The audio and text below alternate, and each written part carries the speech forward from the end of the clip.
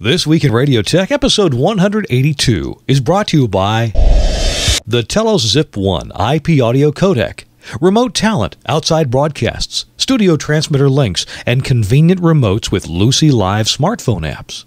The Zip 1 at telossystems.com. And now, our feature presentation. TWiRT. Westwood One is coming back, plus wrapping up a big station move and tips for starting with video in the radio studio. All right, calm down. He says that to everyone. This calls for immediate discussion. What's up, Doc? All your days are belong to us. From his palatial office of important business. Or in a choice hotel in a distant land. This is Kirk Harnack. Chris Tarr and Chris Tobin join me for a potpourri TWiRT show that honestly turned out pretty well. You're dialed in to This Week in Radio Tech. Hey, welcome into This Week in Radio Tech. I'm Kirk Harnack. I'm glad to be with you. Uh, this is the show we talk about radio technology and engineers' role in that.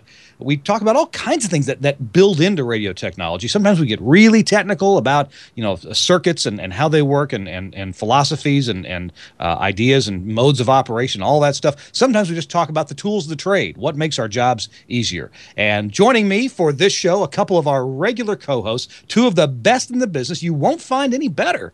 First of all, the best dressed engineer in radio from Manhattan, New York. He joins us from his lovely home office. It's Christopher Tobin, Esquire.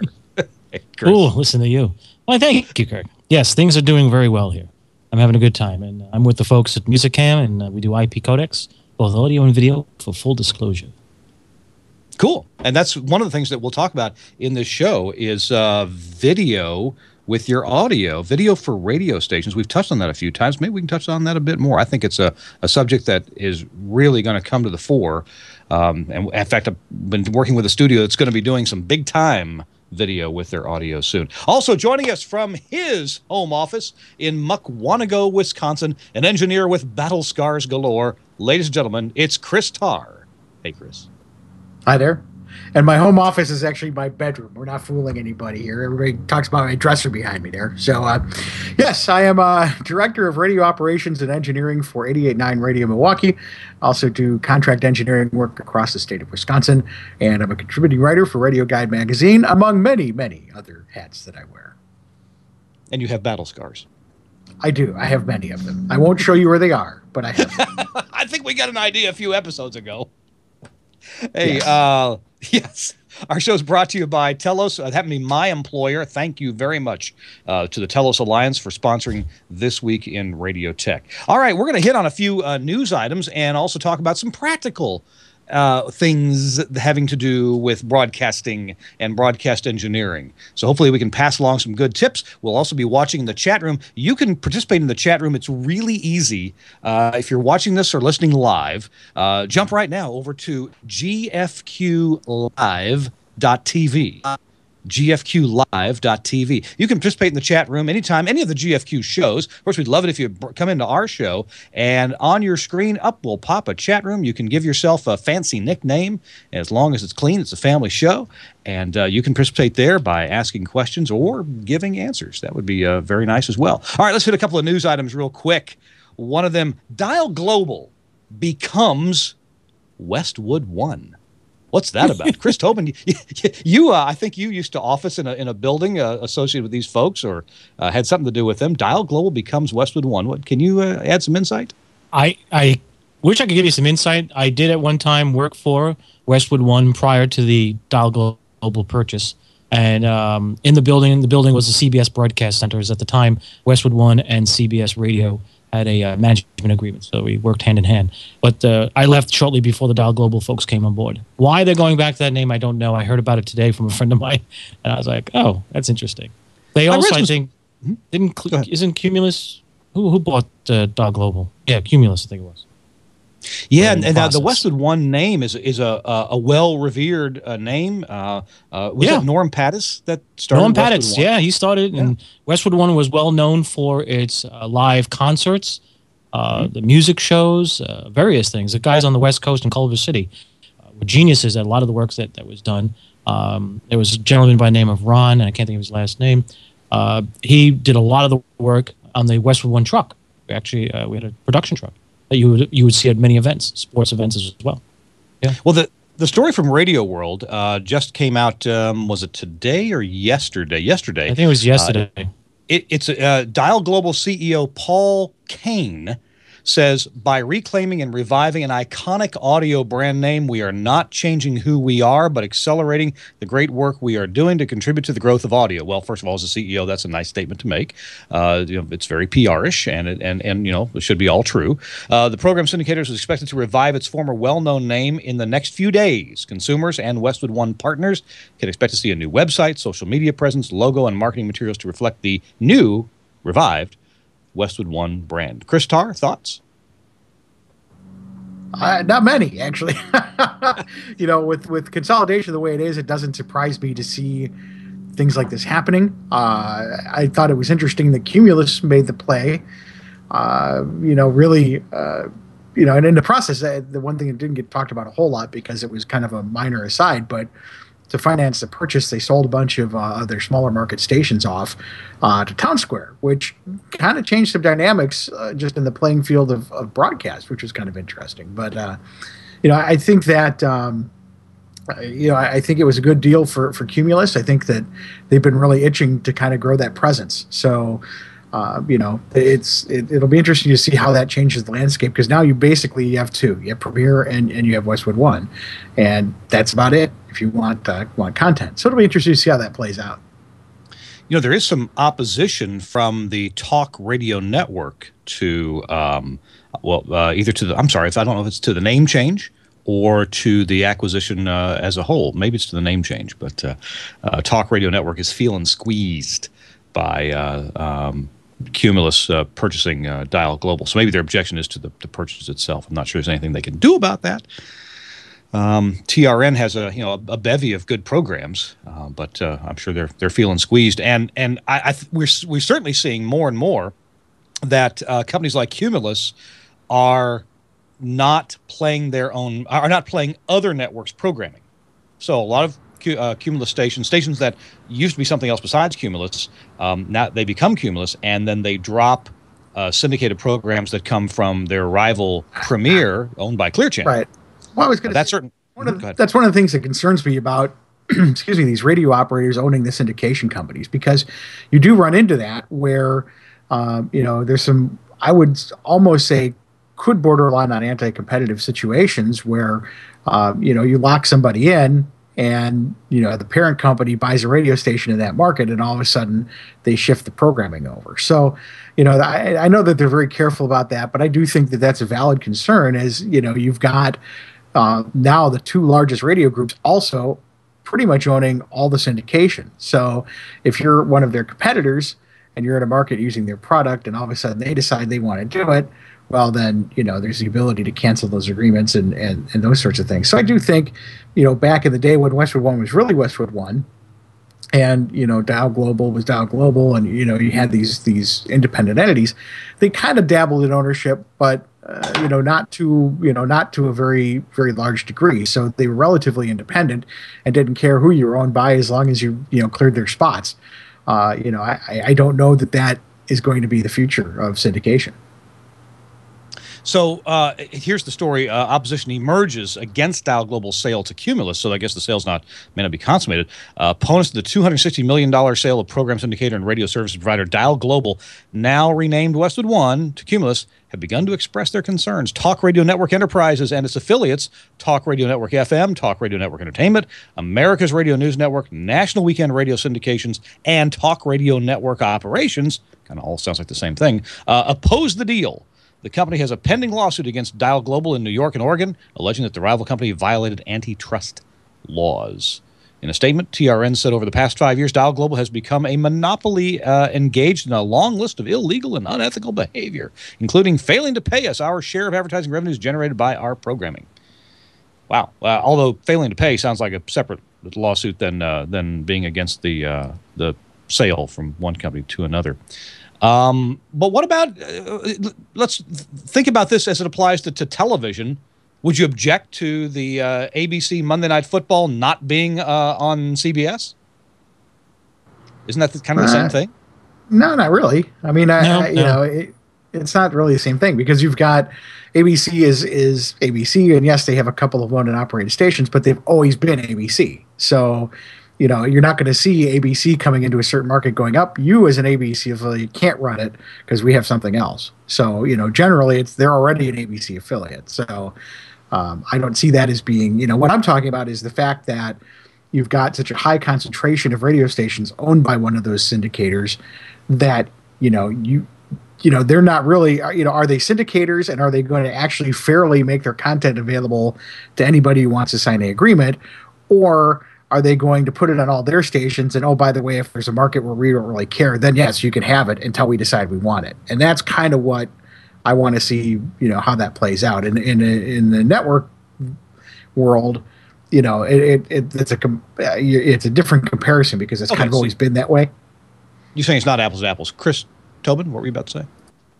No, I, I agree with Chris Tarr. It's not apples to apples. The problem with network or syndication in radio is that in order for you to make money at syndication, you've got to clear the show. And what's happened over the years, because of again the business dynamics, some of them I would call somewhat ridiculous, have forced um, syndicators to buy uh, radio groups so that they can push their product onto their own and operated, as it would be called, uh, operations back in the day when I worked for two of the radio networks that were out there at one time, we were running into the problems where the affiliates, the owned and operated stations, stations actually owned by the company that ran both the network and radio stations, started to allow the local stations to not carry anything or, you know, said, no, you don't have to do anything with us. Forget clearing shows. Just uh, do what you want. Now the network is stuck. It's like, okay, how do we clear the shows that we've all built? And over time, things just fell apart. And that's what that's where we are today this so, cumulus purchase yeah, and yeah. moving everything around. To be honest with you, if you read the, the financials, the, the fundamentals of these companies right now, all of them, they, with the exception of CBS, which is probably the only one with positive cash flow and actual money in the bank, yeah. these companies are so over leveraged, and the um, the, uh, the, the, the what do you call it? The investors behind them. Matter of fact, Oaktree Investments is behind, I think, both Clear Channel, Triton, Globe, Dial Global, and I believe Townsquare Media. So, you know, the CEOs that have been put in place by these companies came from the investing company, investors, you know, the cap eventualists, whatever we call them. So I, I don't know. I'm suspect to this whole thing. I suspect probably six months from now we're going to see big shakeup and things fall apart some more. I mean, here's the other thing with the with the with the operators owning the syndication deals. I, I, there was just recently a situation where a station was carrying a Premiere format a Premiere for, uh, sports format, yeah. and all of a sudden, um, you know, they Clear Channel put a station on, and they decided they wanted to carry that format. So they, you know, said to the other station, "Hey, 90 days and it's done. We're we're moving, changing to a different station. You have to find something else." Well, you know, here's a station that kind of built its its you know its its operation around this particular network under the impression that you know, they were going to have it for a while. And, you know, what happened is, again, the owner also owned radio stations and said, yeah, we're going to move it. We're going to put it on one of our stations now. So sorry. And, I, I, you know, that I have a problem with that. You know, I, I don't, you know, I, I think that, you know, As although you there's a contract and, and, you know, there's a contract and they did, they got out legally and, you know, gave the proper notice and everything but uh, you know i think it's you know it, it's you can't it, they want to have their cake and they want to eat it too they want to have this content for their own stations, but then offer it to other stations in places they don't want it. But on the other hand, if we do want it, then you got to we're going to take it back. So you know, whatever your problem, not mine. Yeah, but would you say so. that a company like Clear Channel or Cumulus, uh, what if they own stations in the market and don't take their own shows? Isn't that not eating your own dog food? Isn't that isn't that uh, you, you know not having confidence in your in your own shows? And by the way, the stations who are affiliates, they have the option anytime too to drop the show. So maybe maybe you're Premiere and you've got a sports show, or maybe you're CBS and you've got a sports show and it's on in a big market, and that big market station uh, one day decides, you know what, we're going to give you our 30, 60, 90 day notice, and uh, we're going to do do our own sports or pick up another sports network. In other words, it, it works both ways. And then Chris, I realize it, it it looks like you know the big guy beating up on uh, on the little guy. Let's say I was in Jackson, Tennessee, for example, and I was a small mom and pop station, and I've been carrying Rush Limbaugh for the last 12 or 15 years or so, and then Clear Channel comes in and buys a few stations in my market, not mine, and they move and they they force me to give up Rush and move him over to his station. Is that is that fair? Well, it's it's it's contractual. It's a risk you take all the time. But the station that had him for 12 or 15 years could have dropped him any time too. Well, that, but that's that's a different that's that's different. If I drop them, then you know there's there are other options available to the syndicator. If the syndicator comes in and now is competing against you, you have cleared the syndicator show for 12 years, and now all of a sudden they decide they're going to use it to compete against you. And this wasn't a little station we were talking about, Kirk. This is a large station that this happened to. So you know it, it happens all over the place. So and that's what I'm saying is that's why I have a problem with the owners running the syndicators. Back in the days of the Westwood One, yes, you could get out, and Westwood One would be having some problems if they lost you as an affiliate. So what would they do? They would work out. They would they would make that they would make the the deal good for everybody. This deal is particularly one sided. You want our content, you play by our rules, and if we don't want you to have it, bye. I think that's a problem. And, and I don't think that that's fair, and I don't think that that's right. Re, you know, regardless of how it's written in the contract, doesn't make it right, and and doesn't mean that it's a good plan. So, I, I do think that there's going to be some there, potential there for some challenges, and I'd like to see that happen. I would like to see that become more fair. Or on the other hand, then don't syndicate your stuff. If you want to be a syndicator and syndicate to your own stations, fine, but don't offer it up and then you know in the back of your head go, oh, you know what, that's all right because someday if we decide we're going to compete, we can just take it back. Forget it, no problem. I think that's wrong. Hmm. Okay. Well, uh, let's talk about something more fun. Tom Ray. He's not with us this evening. He's on the road right now, driving home from a visit with his new employer, Burk Technology. What do you think about that? Good for him. Yeah, yeah. that's great. It's a good product. I like it. I've liked. I love. I love their stuff. Uh, they're they're innovative. They think out of the box. Every time I've used any of their products, I put them in, put in the rack, use the transmitter side studios, and walk away and come back to it, check on it, dust it off, and continues to work. It's great. Well, I, I think Burk made a very smart move uh, by uh, talking Tom into working for them. Tom is a beloved figure in our industry. Uh, uh he's a lightning rod, but you know he repels very few and attracts a lot. A lot of folks just love Tom, right? As we do on this show, and uh, uh, so I'm I'm glad for Tom. I want Tom to do obviously whatever makes him happy, and uh, I got a feeling that working for Burk is gonna is gonna pay the bills uh, uh, for for Tom, and I'm very glad to see him uh, doing something that, that he that he likes and he's good at and can talk with folks about. So good good for Tom. Yeah, absolutely. No, it's a, a very good move. They you know both both parties went out. Tom will do just fine. And hey, and maybe we'll Continue get a, being a maybe, lightning rod. Maybe we'll get a new sponsor on the show too. Well, we can, beat always, him up on that. Can always hope. So here's a, a headline that came down the pike today. Um, uh, you can tell this is PR. The first Toyota vehicles with subscription free HD radio. I think all HD radio is subscription free. Uh, audio traffic and weather will arrive at dealers. The 2014 Toyota Tundra, Corolla, and Sequoia, featuring HD radio artist experience, traffic and weather forecast. These cars are now at dealers. The new 4Runner and Tacoma are arriving later this month. Uh, Toyota uses HD radio technology and Clear Channel's total traffic network to provide subscription free real time traffic and weather information via digital FM broadcasting. I guess this is good, Toyota turning out HD radios. Had they not before?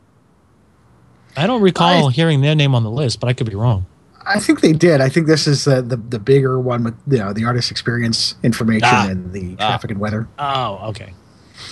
So yeah, you know, again, you know, I I know there's a lot of people who are not fans of HD radio, and they you know, but any little bit, and I've always I've said from day one, you know, this is exactly the kind of thing that should be happening, and it's happening. You know, it's evolutionary versus revolutionary. I think as time goes on, you know, more and more cars are going to have them, and more and more people. I can tell you, I, I, and again, this is anecdotally, but you know, with with my station, our HD's been off now for, unfortunately, for about two weeks because I lost a, a, a Moseley Starlink transmitter had to go back for repair.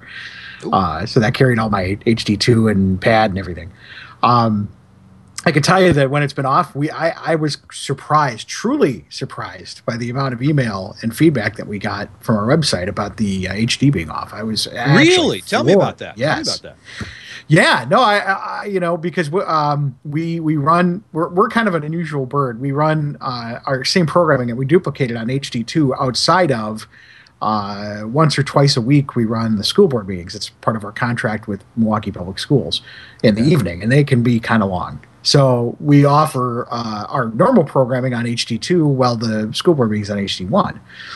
Uh, so people enjoy that. And and you know, surprisingly enough, as you know, Kirk, a little bit about our station, we do a lot of local music. We're, we're primarily a music station. We're not like NPR or anything like that.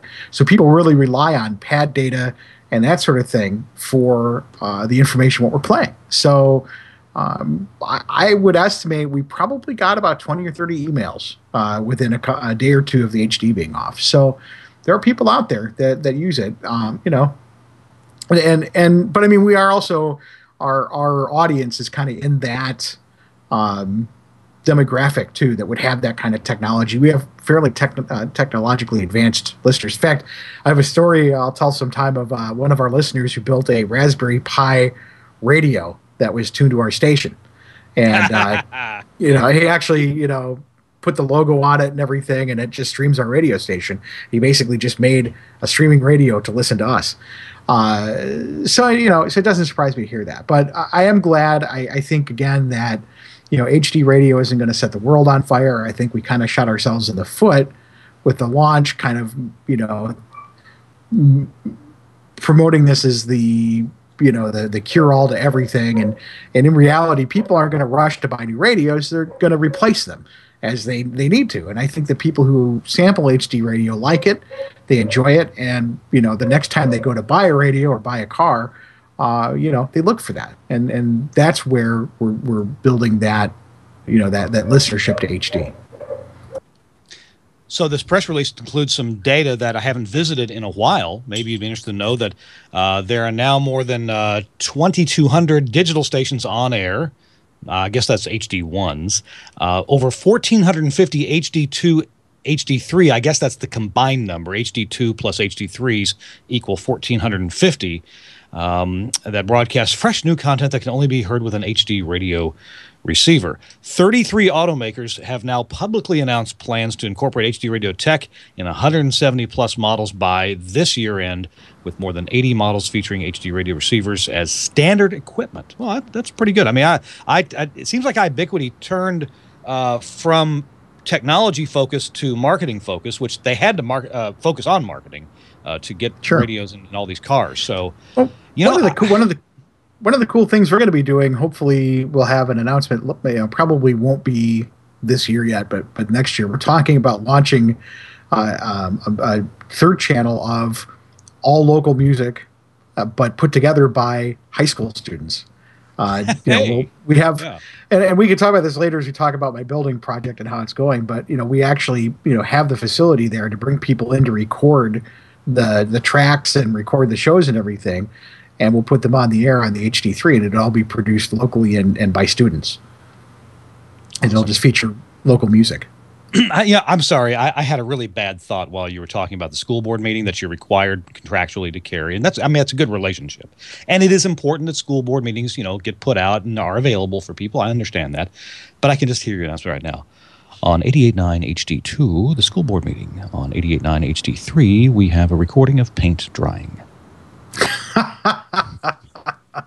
I'm bad. I'm sorry. I'm yeah. so bad. Uh, so eh, okay, 88.9, you're a community station, but you you do HD, mm-hmm. just not at the moment. I get. I realize you're fixing that. Right. Yeah. Um, but you do you do an HD3 yet? Is, is that what's going to be possible? No, that's what, that's what I was talking about. That's the that's the student station that we're looking at putting together would be an HD3. Okay. Cool. So, um, next quick topic. Who's listening at work? nowadays. Edison Research President Larry Rosin intends to cover when he presents the results to a new study at the upcoming radio show in Orlando. That is coming up uh, next month. 26% of people, or is it this month? That's it's it's this month, no, right? Yeah. This month, I think September. Yeah, this month. Yeah, later this month. Okay, around the oh the 18th, 19th, 20th of September. I got to make sure I got my bought my plane ticket for the right time. 26% of people listening to AM/FM radio at work use headphones or earbuds, according to Rosin, and the numbers higher among the younger demo. Internet radio will be part of the results as well. Now, okay, so if they're, if they're using earbuds or headphones, they're they're not getting PPM data on this, are they?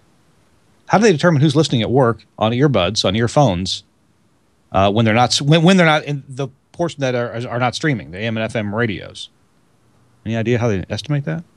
I don't think they do. I don't think you can. I don't think you can really. I mean, yeah, if you have earbuds, the the belt-mounted uh, PPM meter won't pick up uh, any audio. Yeah. And if you're Well, this is- streaming, then you get the streaming stats, but that's different. Well, I and don't this is not Arbitron. This is Edison Research uh, coming up with with uh, this study. You- You know what they probably do? It's probably phone calls. They they probably sample offices. They probably Well, have how- a database and just ask people. How are they going to get people to answer the phone if they're listening with their earbuds? Oh, there's there's somebody. You'd be surprised. These guys, these researchers, can find ways to skew those numbers Oh the yes, they they like. can. They will hunt you down. Oh, he he didn't answer. He must be listening to the radio on his earbuds. Check. Check. There you go. You see? Now you understand. okay, I got it. I got it. All right. Well, if you want to find out more about that, uh, we'll be at the NAB radio show. All right. Cool. Hey, and speaking of NAB, um, uh, hey, for the past few years, I have had the distinct pleasure and pain of presenting uh, papers at the NAB show uh, in Las Vegas in, in April. And I got to tell you, it, if if you're an engineer out there and you've thought about presenting an idea, maybe you have an idea or you've done some some work that you want to talk about, uh, document it, and and you know just anything to share with other engineers that they can learn from, you ought to consider submitting uh, a paper idea. It doesn't have to be all this fancy smancy. Uh, uh, well, it's I guess it is called a, a paper or a session, but uh, here I'll just tell you ab- ab- about this uh, uh, uh, invitation. The NAB is. Um, reminding everyone that its deadline for speaker session ideas is uh, October 18th. So if you have an idea for a lecture, a panel discussion, a roundtable discussion, or a workshop that might be of interest to a broadcast industry audience, the NAB would very much like to hear from you. Uh, they are looking for keynote or lectures. Uh, as I said, panel discussions, roundtable discussions, and workshops. They have all these different forums that could work for your idea, whatever you'd like to talk about. Um, so um, uh, check it out. You can go to the nab dot uh, is it dot com or dot org, uh, and Dot uh, org, get in- dot org and um, oh, or go to nabshow.com. Oh, yeah. That's that's their show sh- site, nabshow.com, and uh, you can. Uh, they have a page there to jigger the brain cells, as it were. Tell you what, I'll see if I can put that link in our show notes for this show. Uh, they, they do want to know about this early because they they do read them over and they uh, they might turn you down and they might say yes. If they do say yes, uh, I think you get a, you get a pass into the show, so it's a it's a good deal. Hey, if, if you're let's say you work for a station that is not willing to send you to NAB or provide you with a conference registration, man, you you get accepted for a paper, and I I believe you're in, and uh, it's a, so they won't provide your hotel room, but those are cheap in Las Vegas generally. Uh, Chris Tobin, you've given a paper or two at NAB, have you not? At NAB, no, actually, um, Oh, I've AES done you- panels. AES, Ah. I've been on panels at AES. Mhm. Uh, the people, I've done those. They've been fun. Uh, being on a panel is actually very challenging as well. Uh, it's, not, it's not as easy. Not as easy as it may appear. You know, sitting in front of an audience of folks who are willing to uh, take barbs at you and uh, ask you questions that pretty much, if you answer with the word no improperly or say yes, you're you're uh, chastised and probably printed in some form or shape on a website saying he claims X. It's wrong. One of the Chris- AES shows because you, you, you've you know what the audience is like at AES, right? How's that? Audi- the- how they're very particular and uh, very you Oh. know it's about any topic. You pick a topic, whether it's microphones, audio in general, recording, and whatnot. And if you say something that just goes counter to the thinking, they get crazy. Ah, So you know, being on a panel is, is probably as difficult, if not more difficult, than presenting a paper where you just present it, talk, take a few questions, walk away. Gotcha. So a, a, a paper is, al- is more of a one-sided discussion. A panel discussion, I guess people in the audience feel free to challenge you. you're Yes, crazy. yes. Okay. Hey, uh, Chris Tarr, you're giving a paper here in uh, Wisconsin, aren't you? Oh, I I pretty much do every year. I'm not doing uh, not doing one this fall. I just did one for the summer session, and I think Oh, two yeah. years ago I did. Okay. So yeah, I, I I enjoy it, and and usually, you know, what's great is is you know I know all of the people involved with WBA. With they, by the way, Wisconsin Broadcast Association has fantastic engineering seminars. Uh, all you know, people come from all over the Midwest for these. Uh, but they, you know, they know me real well, so they, they tend to pick things that they know that I know really, really well, or base them on articles that I've done for Radio Guide or whatever. So it's always nice to, uh, you know, get up there and, and you know, kind of informally do these presentations, and it's usually stuff that I've done uh, done before. But I know all the people, so it makes it a lot easier, you know, to stand up in front of people that I know and, and do these things. But I, I enjoy it a lot. Do people heckle you? Never, never, ever. I'm a funny guy. They laugh when I get up on stage. I'll, I'll, tell you one way that you can make up for having a weak paper is bring ping pong balls, a lot of them. and if anybody in the audience here was in my session at NAB, my paper presentation, then you know what I'm talking about. We had 144, or did we have? No, we had two, we had uh, uh, 288, almost 300 ping pong balls in the room to pass around from one side to the other, and that was really interesting to see uh, to see a, several very large radio group directors of engineering and vice presidents of engineering and executive vice presidents of engineering passing ping pong balls as fast as they could. that was that was fun. And then all that afternoon, people would bring me ping pong balls. Kirk, these got dropped on the floor. Oh, those are drop packets. So you can you can make up for a weak paper with ping pong balls. You have to Hey, have a uh, hook. yeah, you have to have a hook. That's right. That's right. Hey, uh, you're uh, watching or listening to This Week in Radio Tech, episode 182. I'm Kirk Harnack, along here with Chris Tobin and Chris Tarr. Coming up on our show, here's what we have you have to talk about. Uh, Chris Tarr is going to update us more on his moving project and the things that he's had to wrap up and tidy up. You know, it's one thing to get the whole station moved, and then there's all those details. It's like it's like moving from one house to another and you know you've got the bed set up and the stereo set up and maybe you've got some stuff in the fridge but you still have 200 boxes to to open up. And so chris tarr is going to update us on what's been going on with with his installation there. And chris tobin is going to talk to us about video for radio because that's that's i swear that's going to be that's going to be big. If it's not already that's going to be big. Our show is brought to you by my friends my employer at telos and the telos zip one IP audio codec. This is such a cool box, and I got something here I want to show you. I'm gonna let's see if I can do this here. Uh, this is you know theater of the never done before. oh yes, there's the there's the website. You ought to go to it at telos-systems.com.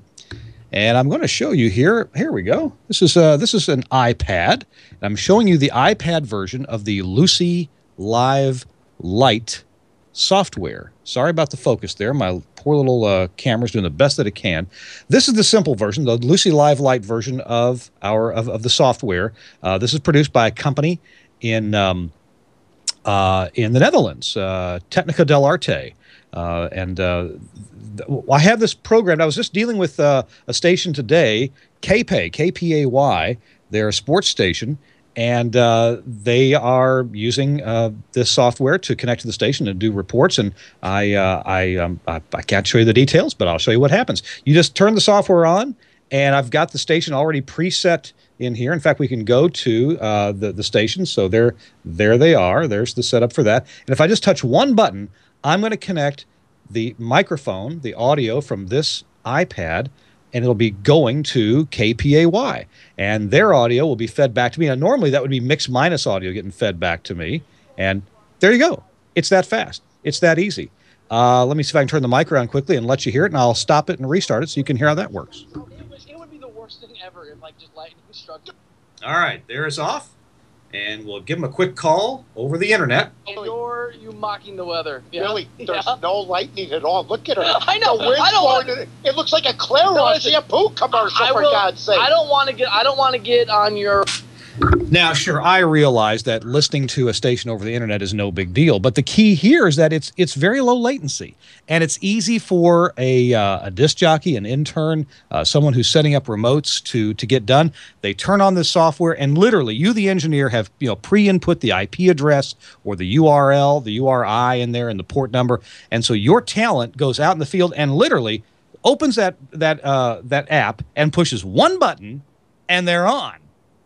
Their, their, their voice is coming into the radio station, and there's the, the Luci Live Lite version, which only includes the G.722 codec. Now, that's seven kilohertz of audio. It's way better than a phone call. Uh, some engineers, and me included, think that, okay, it's kind of plan B or plan C in terms of audio quality, but it's way better than a phone call.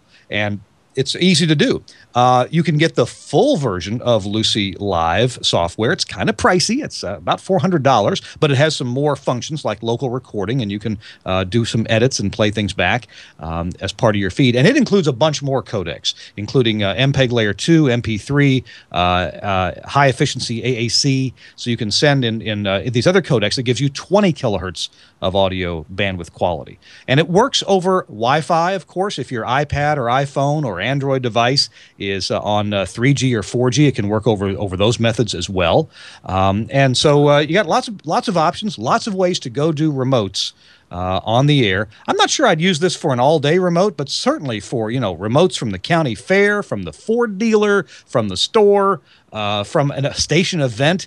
Easy to do. You can use uh, some accessories to. I thought I had one back here. Maybe I do. Maybe I don't. Ah, there we go. Well, here's the simplest accessory: just a cable. This end plugs into your smartphone. It's the you know the four ring, uh, four contact kind of deal, and then you plug your headphones and your microphone in right here. This is a, obviously a passive adapter. There are also active adapters that give you a more headphone volume and can provide phantom power to your microphone if your mic uh, requires that, and also a bit of boost to the audio if you require that. However, the uh, Luci Live software includes a mic volume control, so you may not need that extra boost. You may find that just a passive cable will work just fine for you. You can see a video on uh, YouTube of me describing how this works and how to set it up. If you will go to youtube.com and look for the Telos Systems channel I'd love it if you subscribe to that channel. We occasionally do add a new video to it. Uh, you can check it out there and see the whole video on how to make Luci Live work with your Zip One.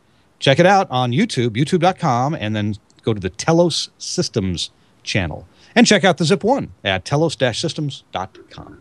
All right, thanks Telos for uh, sponsoring this week in Radio Tech. Hey, uh, we got a couple stories to get to from Chris and Chris. I wanted to mention though. Um, let's see what are some what are some tools that you find are useful nowadays that maybe you didn't use or didn't have a few years ago? And i came up with a couple thought starters on here. Um, one of them is obviously uh, the smartphone. Oh my gosh.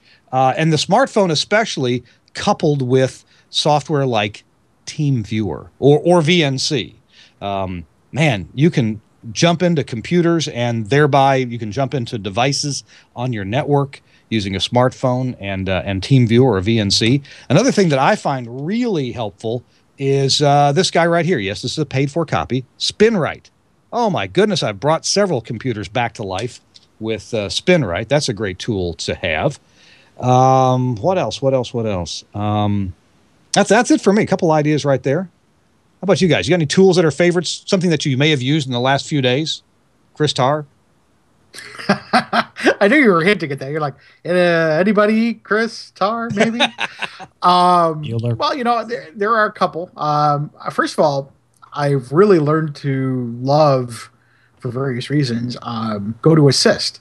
I have a subscription to that for it's you know you, you basically the way the subscriptions work you you pay per seat per technician so it's just me. But then you have unlimited computers for remote access. And I've actually done away with pretty much all of my really expensive, pricey KVMs because I don't need them. I can just run ah. my computers headless, and if I need to, if I computer that I really need to deal with, I can plug a monitor and a keyboard directly into it. But ninety nine percent of the time, I don't need to do that, and it does away with, although I still have it, VPNs and things like that. So you know, when you're one guy trying to manage a whole bunch of uh, computers, plus I have two locations. I have the MPS facility and, and the new facility, and I have stuff split between them. Uh, it just makes managing all that stuff easier. So that's that's one. Uh, and I've brought this up a million times before, and I'll continue to bring it up. My second best friend is my uh, two meter HT radio, uh, my my two meter uh, ham radio. Uh, mostly because, especially now, uh, Wouxun, W O U X O N, it's one of the Chinese imports, has a built in FM radio on it. It's got a little flashlight on it. Uh, so it works really well for kind of monitoring things, and and uh, you know, so I, I, carry that with me wherever I go. Uh, it's a handy little tool. Yeah, tell me that two-way radio. F- funny you should mention that because at our SBE meeting in Nashville just today, one of our members um, brought uh, brought a woshun, if that's how you pronounce it. Uh, I want to say Waxon, but you're right. They they say the X in in Chinese as an sh a woshun Yes. radio. It was a hundred bucks, and it it looked Yeah. like a you know a four hundred dollar ICOM radio. and, and Uh, in fact, their their their kind of mid model, which is the one I have, I think it's the six, uh, actually is certified FCC for, certified for business band stuff too. So, um, you know, you can open it up and, and use that uh, in, in those areas too if you have a license for that. So it's a and what's great about them is you know like the battery was like twenty bucks if you want extra battery. You know, just the the crazy inexpensive. So and you know it obviously it, it has its you know there are some things it scans really slowly things like that but it's a pretty solid radio and um, you know uh, you know it's a good I, I use that as kind of my my disposal because I also have a really expensive digital D-Star handheld that I don't want to break but uh, you know this one is great for throwing in the trunk and and you know just kind of carrying around plus with the extra batteries you know being 20 bucks I can carry a charged battery with me and and uh, you know um, have that available to me too. So I, I always, pretty much anywhere, anytime I go anywhere, I usually grab one, you know, grab that HT and bring it with me. It's kind of like a Swiss Army knife for things. I, I'm I'm just marveling at something. I, real quick, I went to Amazon. By the way, if you're an Amazon shopper, you ought to use the link that's on the GFQ network website. That when you buy something from Amazon, our good friend Andrew Zarian, he gets a free drink. Hey, there you go. So Um, check it oh, out. and And, and it before I doesn't forget, cost you a thing. before I forget Pardon? too, uh, um, the other tool that I have that I, I actually did, uh, mentioned this in a presentation this summer. I don't know if we've talked about it on the show, surprisingly, is uh, those little uh, DVB, those little DV dongles, uh, and uh, software-defined radio. Uh, They actually have spectrum analyzers for FM. You know, they're not accurate, they're not lab grade, but they're great confidence monitors. And essentially, what they did is, is some hackers figured out that these thirty-five dollar uh, tuner USB tuners actually have a really wide front end on them, and you can go down into FM. Some even go down to AM, uh, all the way up to the gigahertz range. And they've developed uh, basically open source software to turn them into SDRs with, um, you know, spectrum analyzer displays, RDS, all kinds of stuff. Uh, I also carry one of those in my backpack wherever I go. Uh, it's You, a you mentioned another this before. You mentioned this before, and I wasn't smart enough to figure out how to use it. What was the the, the model or name of the one that you recommend?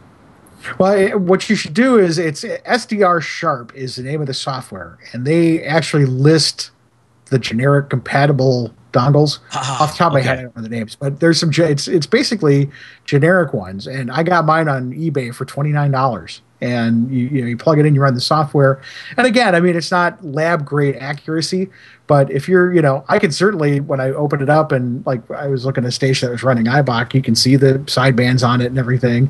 Uh, so I mean, it, it certainly is a good for confidence checking for sure. This is pretty cool. Uh, in fact, there's a, an example. This is at the uh, sdrsharp.com website, and you're exactly right. Here's uh, here's the software and recommendations for the radios, and they and they show this going to the AM band. They're showing an AM band uh, display here with uh, what looks like demodulated audio under each of the significant carriers that that's being shown. So good suggestion. I like that. Maybe I'll, I, I bet I've still got the radio plugged in the back of one of my computers here. I gave up on it, so I need to go revisit that. I'm just not as smart. Um, by the way, sp- speaking of going going back to this, um, uh, these cheaper uh, two meter radios, uh, they have a bunch of these on Amazon for in the hundred hundred and thirty dollar range. Here's one. I, how how about this Baofeng, B A O F E N G radios? These Those are are good these. too. They're thirty five bucks. Yeah.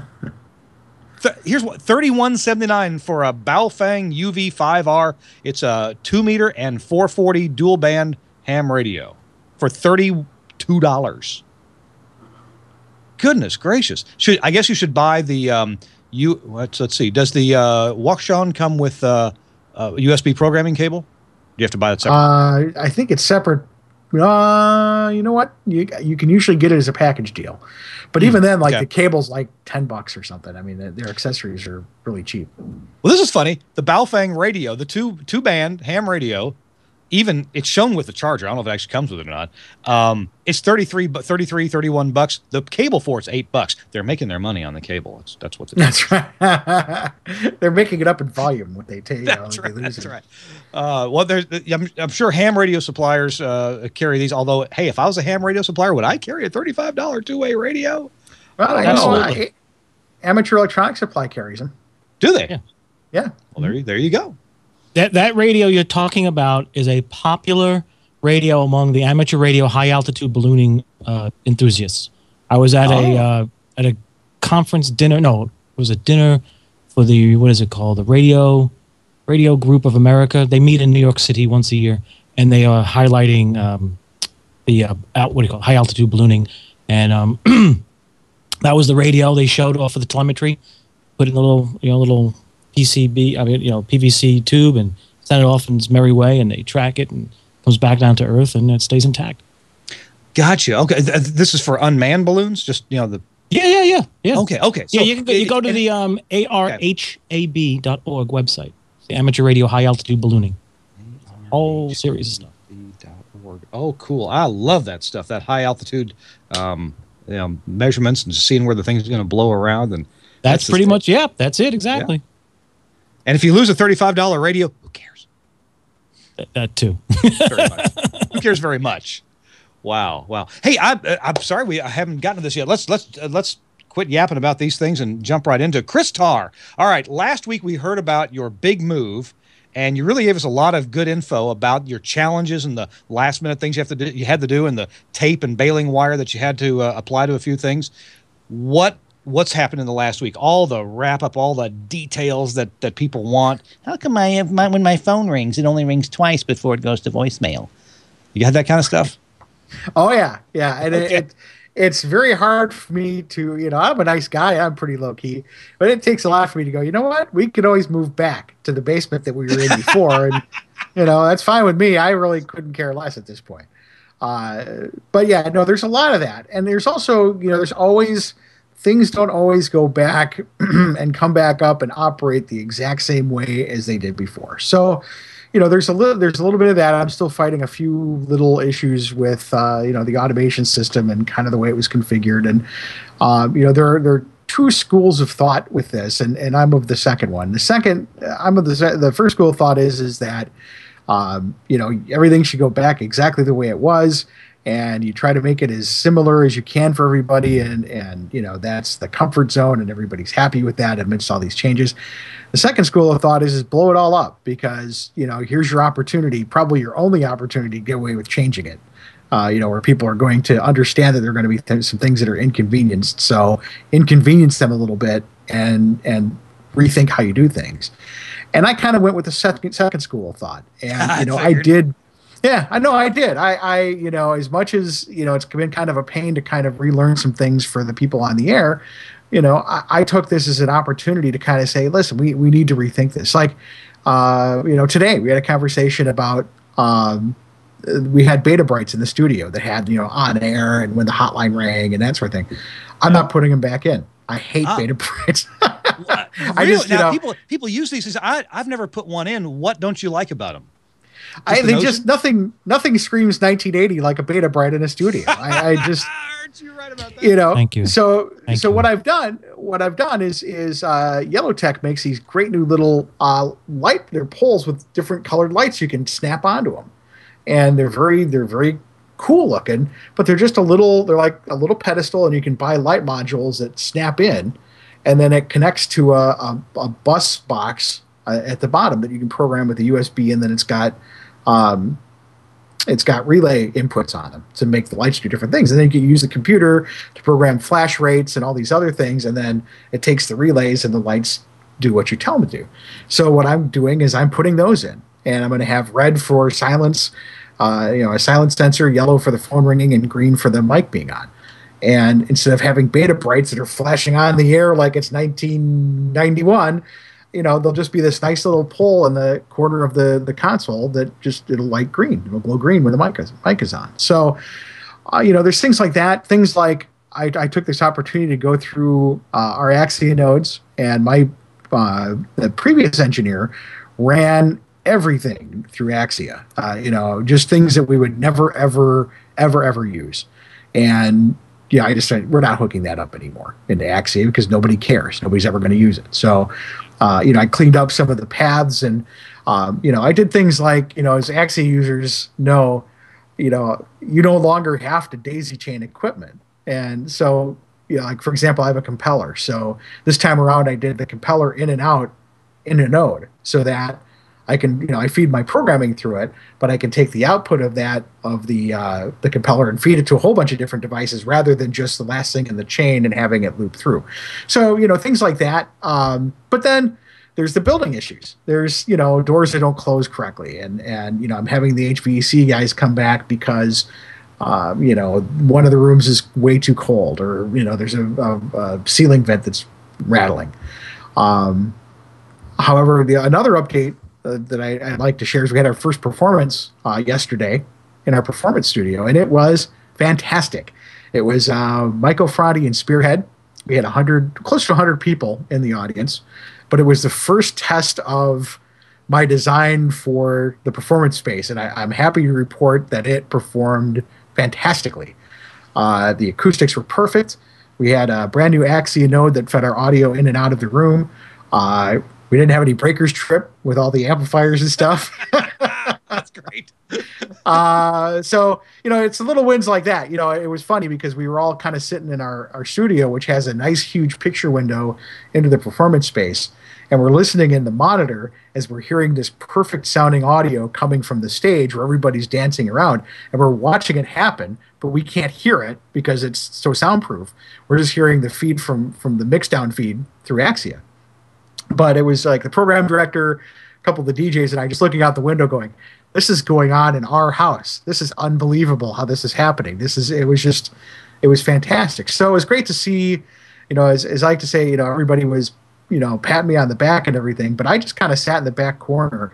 And I think it's true, you know, when I tell people as an engineer, I, I really get more of a kick out of it watching everybody enjoy it you know having it work and and watching everybody have fun and the performance going on and people not knowing all the work I put in ahead of time, you know, the the weeks and weeks and weeks and late nights and everything, uh, you know, that kind of made it worth it. You know, I just kind of sat back and went, "This is why I do this." You know, it's it's fun to watch everybody else having a good time. So, uh, I guess long story short, uh, you know, it, it went well. We had our share of problems. We had the automation crash. We've had, you know, we still have some bugs.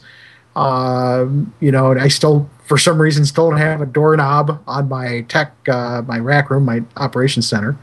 Uh, I do need to go back, and unfortunately, my plan for really neatly lacing wires and things kind of went out the window when the automation crashed. And we had to quick get everything put together. Uh, so I have to go back and do some of that. Um, but you know, it, it, wasn't too bad. So yeah, I, you know, we're at the point now where we're in there. We've been in there now. Uh, this is the end of our second week.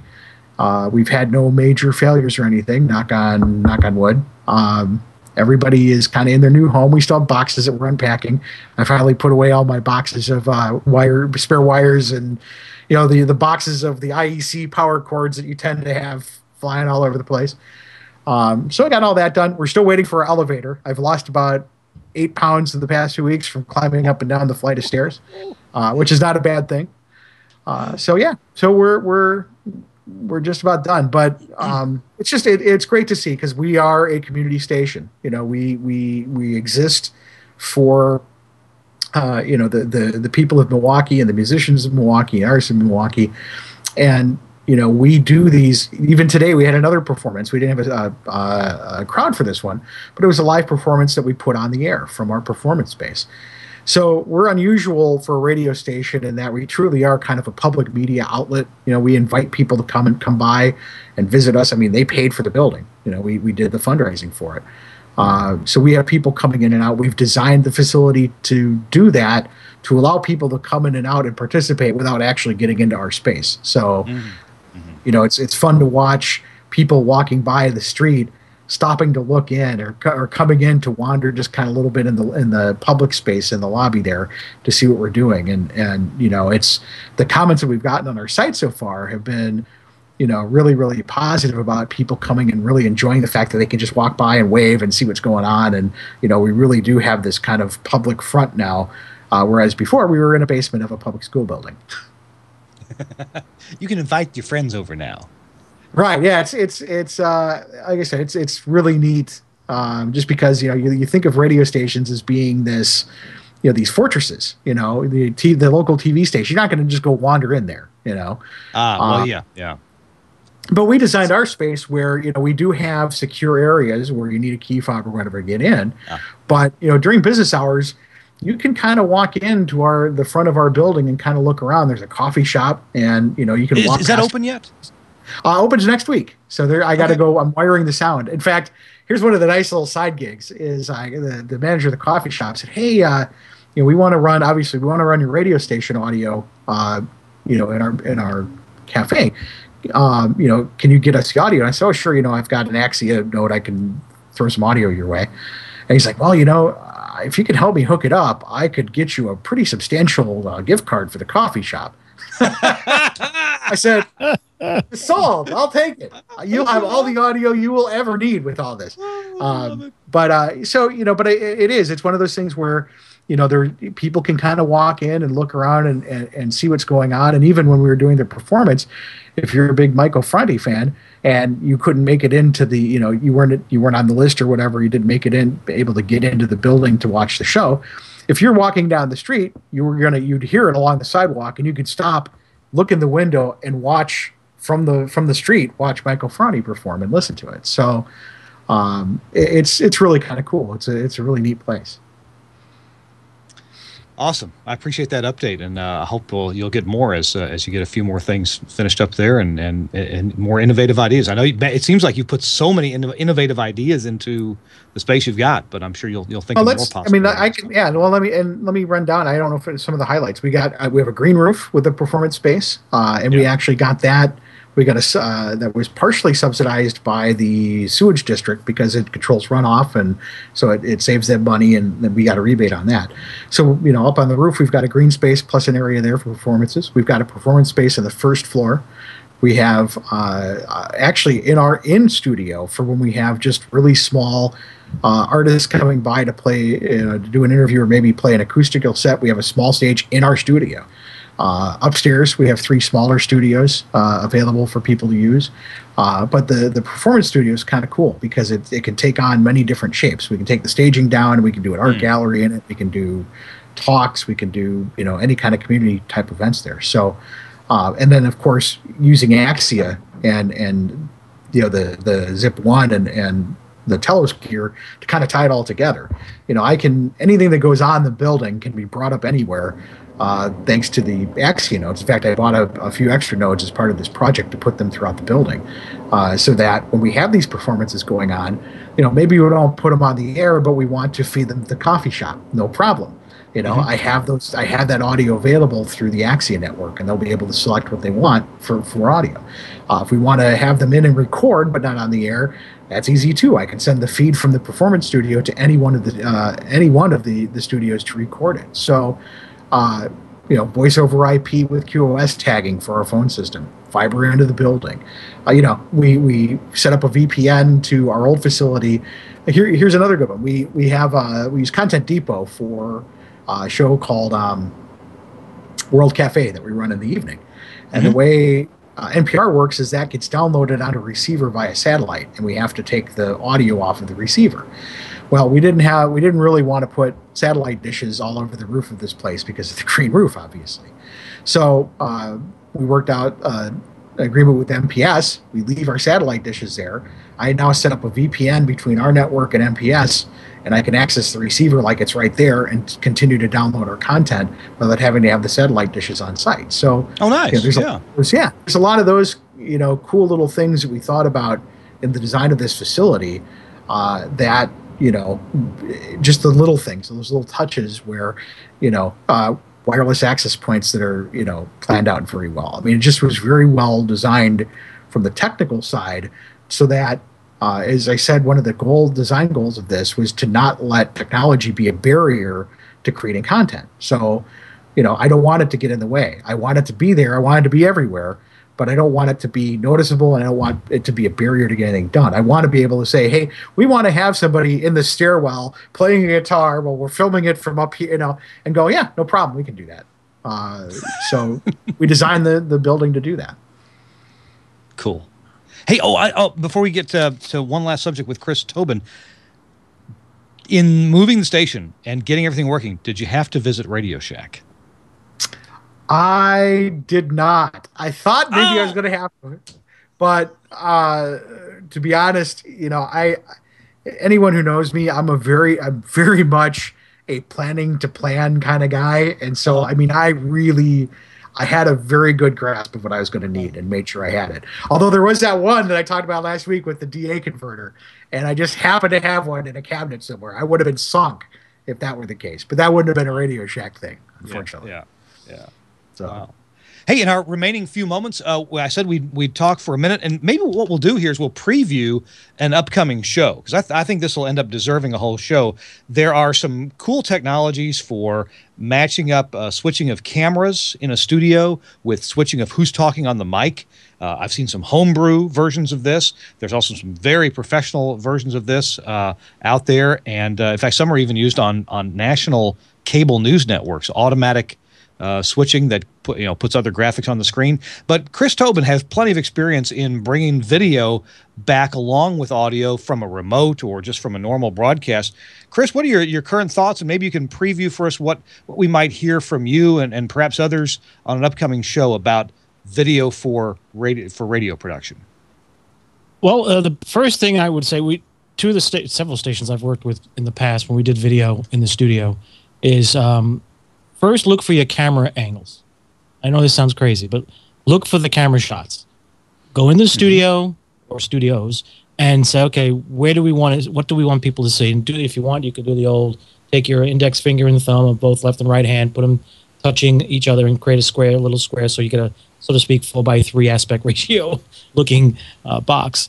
And and I say this because one project I worked on, we did not do that. The programming folks just went ahead, got a bunch of cameras. I mean, you know, a couple thousand dollars a camera, threw them up on uh, mounts, and did this whole thing.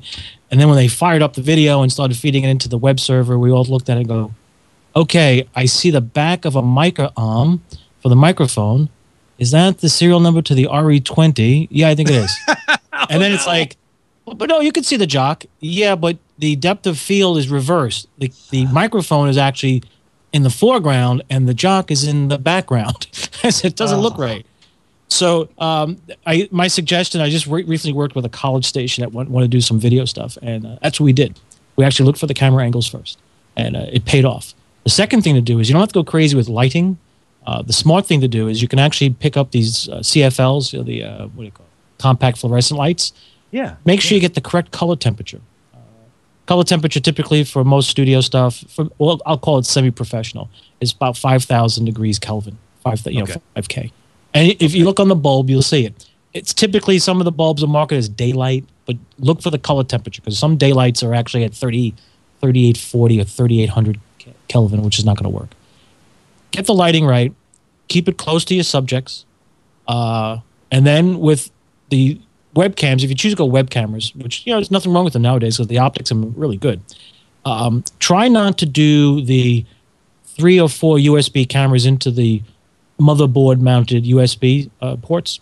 Consider the, the little extra expense, not that expensive, but getting USB controller cards, PCI, PCIe slots, mm-hmm. and mm-hmm. give each camera its own USB controller. So when ah. you work with the software, you don't get stuck with Microsoft OS trying to finagle, I'll call it, the universal plug and play protocols for the USB ports, and all of a sudden your three webcams are working just fine. We're doing great until your wireless, uh, what do you call it, mouse called for something on the USB port for the transmitter, and suddenly camera two went out. That is like the most notorious thing that happens. I've had several projects where it just fell apart. Did the separate Yeah. cards, and it worked like a champ. Very inexpensive, simple, basic stuff. Now, if you want to get crazy from remote locations, now it's time to talk some serious hardware. You could get away with using a laptop, but you better make sure you uh, lock that laptop down to do just one thing: produce video, nothing else. Do not, don't try doing any tweeting. Don't try to do any uh, instant messages. Nothing. Just video only. That's broad strokes. I can get more detail the next time we you know, get more into this. Uh, those are the basics. But if you follow that rule of thumb for the real quick stuff, you can get something up and running in no time and it'll look really good. Um, Well- but from remotes, it's going to be a, a mixed bag. It's a, there's several ways you can do it.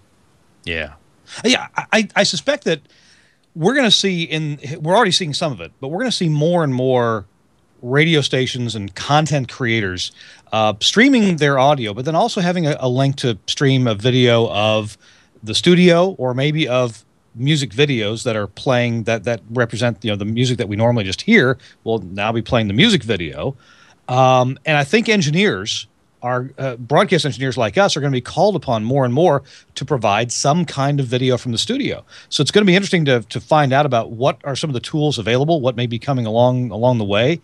Um, how can you do this without adding any people to do it? If you can do the automatic camera switching effectively, that'd be interesting. If not, I mean, at, at our station in American Samoa, we have a guy sitting there switching cameras, uh, but we have you know a little uh, sub one thousand dollar video switcher, switching some little you know lipstick cameras that are in the studio. Uh, but there are uh, other ways to do this on a on a much more professional basis. So, uh, in fact, coming up early next year, we're going to see some of that coming out of some Cumulus properties that are, are pretty interesting. So uh, that's something that we'll we'll have a head up, heads up on and uh, do a real show about that uh, in the in uh, coming up in the future. So we'll we'll do that. Hey, we got to go. We're add. past. Yeah, yeah.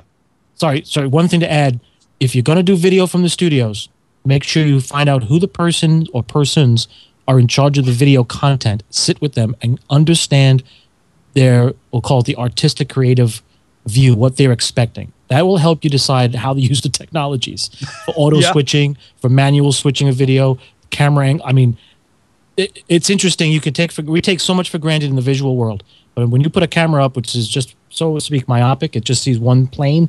You suddenly realize it's a whole different world. Mm. Mm.